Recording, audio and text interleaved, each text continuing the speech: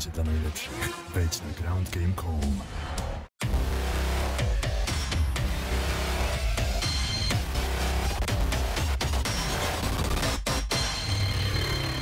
KSW 65, ze mną Bartosz Izierski, Czerwony Smok w szampańskim humorze. No jak widać.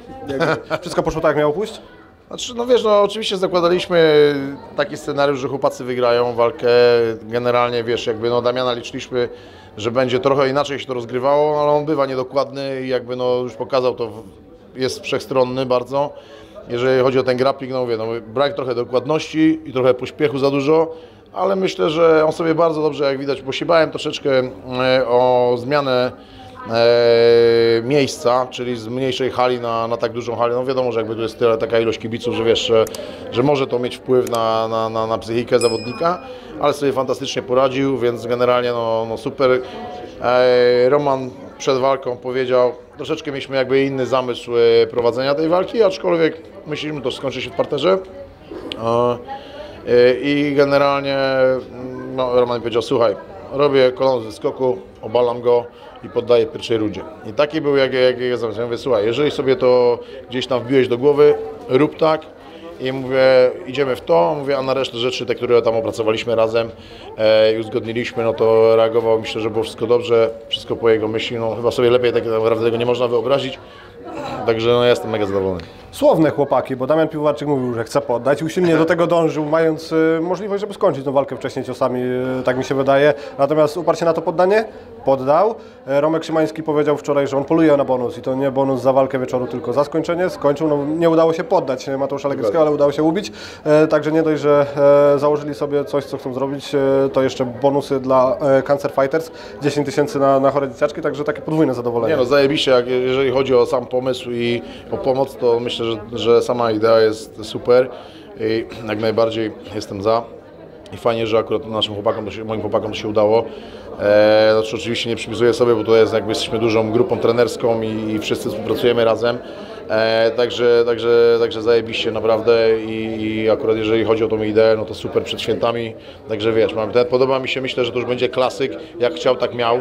Także wiesz, Damian, e, Damian Piwowarczyk e, w wywiadzie, proszę nie przeszkadzać, bo ja tu mam parcie na szkło, tutaj jest oczywiście znowu ta Memory 5, wszystko wiemy, ten pan jest znany z różnych rzeczy, ale mówię, jak chciał, tak miał i będzie, przejdzie chyba do klasyka i bardzo fajnie Damian zresztą powiedział, my generalnie nie mieliśmy parcia na to, żeby iść w parter, bo wiedzieliśmy, że on przyjdzie do, do Damiana, no wiadomo, że naprawdę my tą taktykę zawsze gdzieś tam, tak samo z Gamerem, no nie będę jeszcze teraz zdradzał, już zdradziłem gdzieś tam ten, ale nie chcę w wywiadzie tego teraz rzucać, e, co, co ustaliliśmy, jakie są e, e, przewidzenia, e, przemyślenia, jeżeli chodzi o Gamera i, i gdzieś tam przebieg tej walki. Ja zresztą nie lubię wróżyć z fusów, więc, więc, więc e, no też jestem do końca jakby sceptycznie nastawiony. Wiadomo, że jestem jakby zawsze, zawsze sercem z moimi zawodnikami, no ale jest zawsze jakiś tam procent, że większy, mniejszy, że można przegrać. Nie? Zresztą co pokazała dzisiaj e, Anita Bekus, myślę, że była mocnym underdogiem. Oj, i, tak, i, chyba największym. Poza tam wchodzącym na ostatnią chwilę e, Piotrkiem Olszynką, no to wydaje mi się, że Anita Bekus była najbardziej skazywana. No tak, no ale jakby Olszynka, no wiesz, no, no wszedł na ostatnią chwilę, więc tutaj też chłopak od nas miał, miał się bić na tej gali, ale niestety się nie udało, no i po prostu akurat chłopak wy- wywalczył srebro na Mistrzostwach Europy e, w amatorskim MMA, więc też tam gratulacje jakby lepsze. E, Płynnie przeszliśmy właśnie do Mateusza Gamrota. Już wiem, że nie będziemy zdradzali ani planu taktycznego, ani tego, jak ta walka się może potoczyć. E, Trudny rywal, ale Mateusz Gamrot pokazał po tej walce z Guramem Kutateladze, która tak naprawdę, mimo że zabrała mu zero w rekordzie, dała mu dużo, bo pokazał się tam e, z świetnej strony.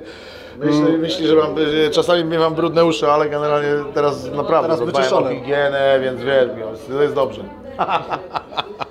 E, Zabrała mu zero w rekordzie, ale chyba wywołała taki, taką sportową złość, bo w każdym kolejnym pojedynku pokazał, że on się cały czas rozwija.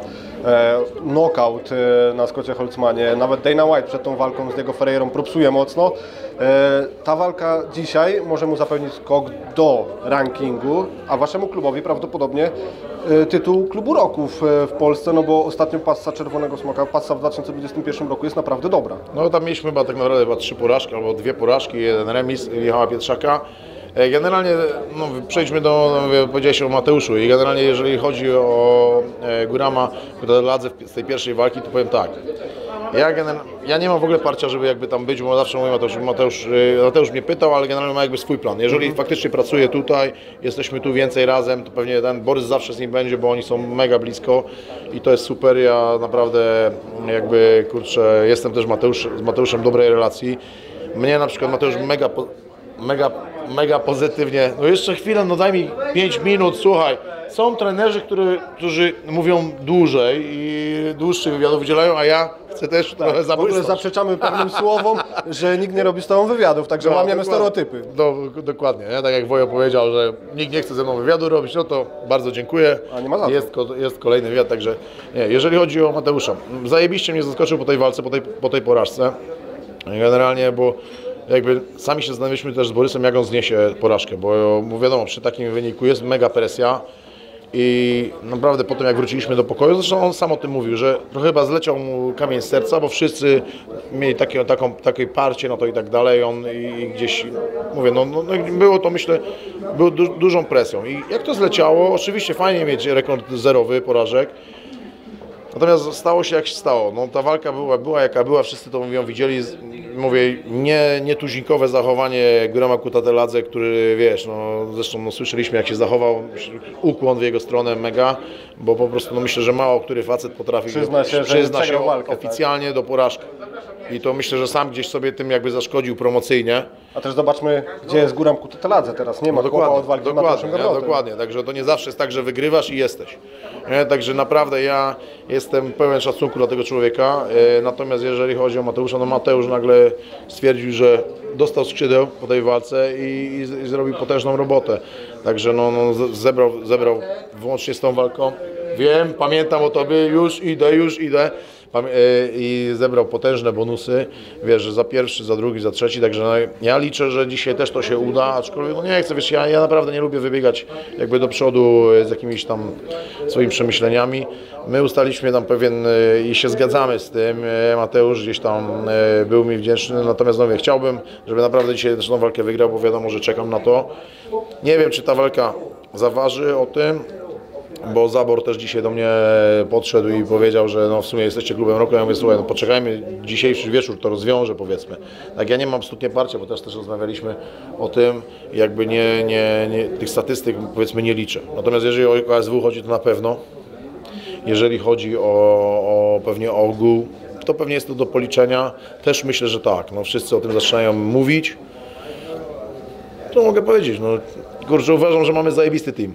No to prawda, a szczególnie w tych e, niskich kategoriach wagowych, bo tam naprawdę macie przekrój zawodników w różnych organizacjach i myślę, że oni sami siebie nawzajem napędzają do tego, aby cały czas czynić progres. Ja, mm, owszem, nie mamy, wiesz, wagi ciężkiej, ale na przykład Damian pokazuje na to, że 8,3, nawet 8,4 i Pietrzak, wiesz, no to są, czy, czy Wawrzyn, jak oni mnie kochają, nie? Jeszcze raz, Filipek, no zrób jeszcze raz masaż, jak już chcesz, jak już chcesz no, być w wywiadzie, żebyś nie musiał tego udzielać. On mi tak masuje zawsze mikrofonem, dobrze, że tylko głowę, nie? Pô, H? Nie wiem, no relaksuje mnie, on wie, że ja mam dy- dystans do siebie spokojnie, nie? Także wiesz, także tak to wygląda. No i tyle, no co, co myślę, mogę więcej powiedzieć. No liczę na to, że staniemy tym klubem roku, bo było dla nas to naprawdę, uważam, takie uhonorowanie mega roku. Nie dla mnie nawet, bo ja nie mam jakiegoś parcia na mega na to, ale myślę, że dla chłopaków, bo zrobili potężną robotę, nie? Bo ja jestem jakimś tam ogniwem, wiesz, i w, w, tym całe, w tej całej trybikiem. Trybikiem. Trybikiem, ale tym trybikiem, ja myślę, że ja jestem takim trybikiem, takim największym trybem, który to spala. Bo naprawdę nie, to nie jest tak, jak wszystkim się wydaje, że zawsze wierzę, a w klubie wszyscy jest super. Były złe momenty też i są dobre i myślę, że jesteśmy na takiej mega fajnej, fajnej teraz relacji u nas w klubie i pewne rzeczy naprawdę w dobrym kierunku poszły, że, że naprawdę no, możemy się tym szczycić akurat. Nie? No i pewnie w, u wielu ekspertów będziecie się liczyć e, w tym e, ogólnym rozrachunku za ten 2021 rok. Jak dziękuję za poświęcony czas i mam nadzieję na kolejne rozmowy, że będzie ich więcej. Słuchaj, również dziękuję za wywiad. W końcu się gdzieś znalazłem. Nie? Jeszcze jest. Tomek oczywiście z Fight Sportu e, zawsze gdzieś tam mnie prosi na wywiady. No a tak to widzisz, nikt mnie nie jest. Może, Zmieniamy. Może muszę coś głupiego Zmieniamy teraz. Po prostu, albo się, możemy zrobić jeszcze następny wywiad nago, nie? nie, no żartuję. Dziękuję. Słuchaj, wszystkiego dobrego. Również. Dziękuję. Dziękuję.